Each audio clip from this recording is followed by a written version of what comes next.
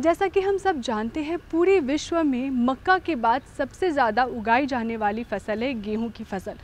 तो इसकी अच्छी पैदावार के लिए, अधिक पैदावार हो, उसके लिए वैज्ञानिक तरीके से खेती करना बेहद ज़रूरी है। धान की फ़सल के बाद किसान गेहूँ की खेती करते हैं। ऐसे में ज़रूरी है कि खेतों की अच्छी से जुताई की जाए। मिट्टी भुरभुरी हो जाने के बाद ही गेहूँ की बुआई करनी चाहिए।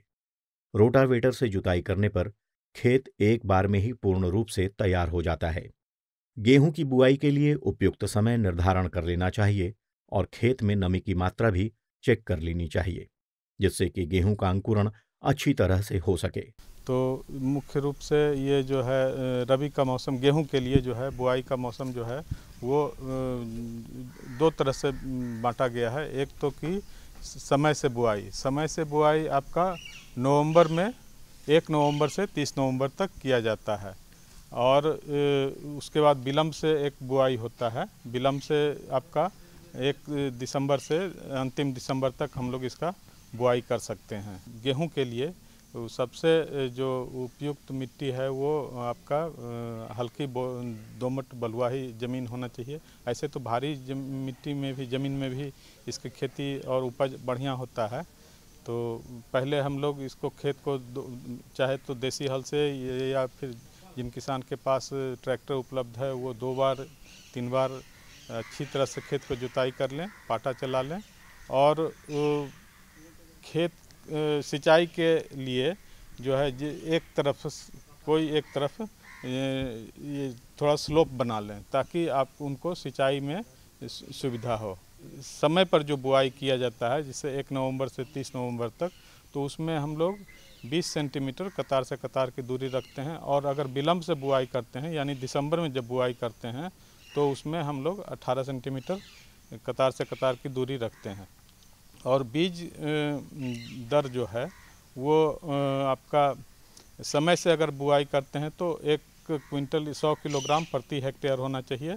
और अगर बुलम विलम्ब से बुआई करते हैं तो 125 किलोग्राम प्रति हेक्टेयर बीज का मात्रा होना चाहिए। यदि खेत में बीज की अंकुरण क्षमता कम है तो बीज का प्रयोग सामान्य दाना 125 किलोग्राम प्रति हेक्टेयर तथा मोटा दाना 150 किलोग्राम प्रति हेक्टेयर की दर से प्रयोग करना चाहिए। उपचार पहले तो बीज को फुफुन्नासी से उपचार करना चाहिए। उसके लिए गेहूँ में खास करके वीटावैक्स नाम का एक फुफुन्नासी होता है, उसका अढ़ाई ग्राम मात्रा प्रति किलो बीज के दर से उपयोग करना चाहिए। अगर वीटावैक्स उपलब्ध नहीं है तो कार्बेंडाजिम नाम का जो दवा है ये फुफुन्नासी है, उसको अढ़ाई ग्राम, उस, वही मात्रा, अढ़ाई ग्राम प्रति किलो बीज के दर से उपचार करना चाहिए।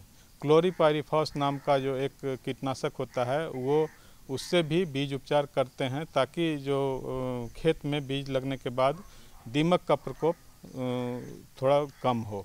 गेहूँ में, झारखंड के कंडीशन में कम से कम छः सिंचाई का ज़रूरत होता है।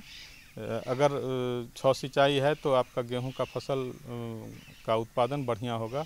तो सबसे पहला जो सिंचाई है वो क्राउन रूट इनिशिएशन यानी कि 21 दिन के आसपास जो होता है, वो जब क्राउन रूट उस समय निकलता है गेहूँ में तो उस समय 20 से 25 दिन के आसपास में पहला सिंचाई करना चाहिए। कुल छः सिंचाई ज़रूरत होता है तो उसी के आगे फिर 20-20 दिन के अंतराल पर, जैसे शुरू में 20 से 25 दिन पर पहला सिंचाई हो, उसके बाद 40 से 45 दिन पर दूसरा सिंचाई, फिर 60 से पैंसठ दिन पर तीसरा सिंचाई फिर अस्सी से पचासी दिन पर चौथा सिंचाई और पाँचवा सिंचाई जो है सौ से 105 दिन और फिर लास्ट सिंचाई जो है 115 से 20 दिन के आसपास कर देना चाहिए।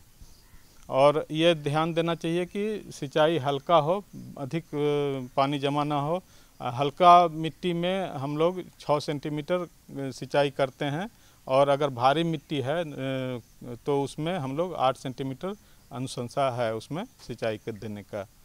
तो सबसे ये महत्वपूर्ण है कि आप एक तरफ़ खेत तैयार करते समय ही ढाल बनाएँ और छोटा छोटा कियारी बनाएँ अपने सुविधा के अनुसार, जिससे कि आपको सिंचाई करने में आसानी हो।